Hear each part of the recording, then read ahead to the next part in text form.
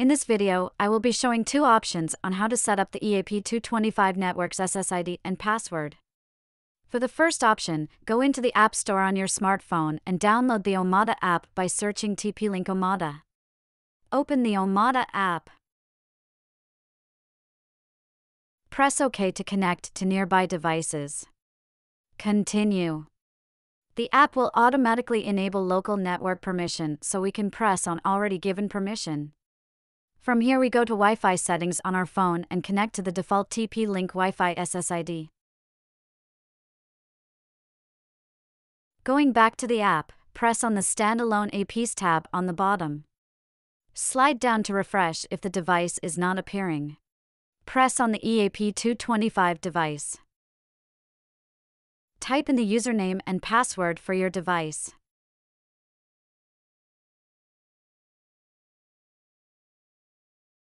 Type in the SSID and password for the new network name of your device. Double check if you inserted the correct password, then press Next.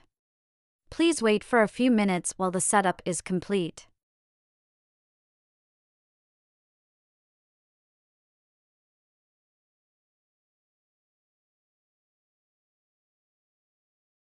Join the network.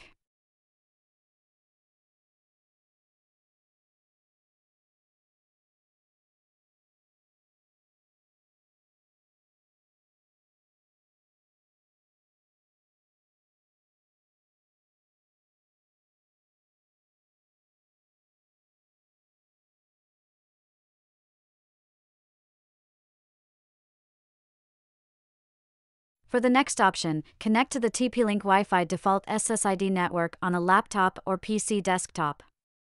If you are using a PC, you will need to be wirelessly connected to the device's network. Go to web browser and type in tplinkeap.net. The username and password are both admin by default. Type in the username and password for your device.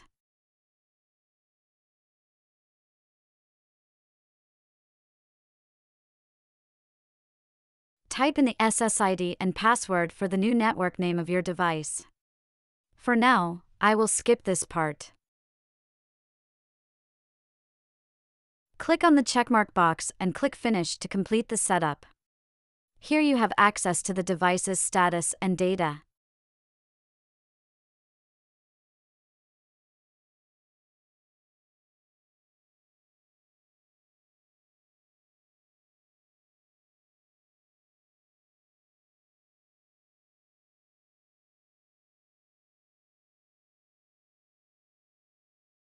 Thank you guys for watching and I'll see you in the next video.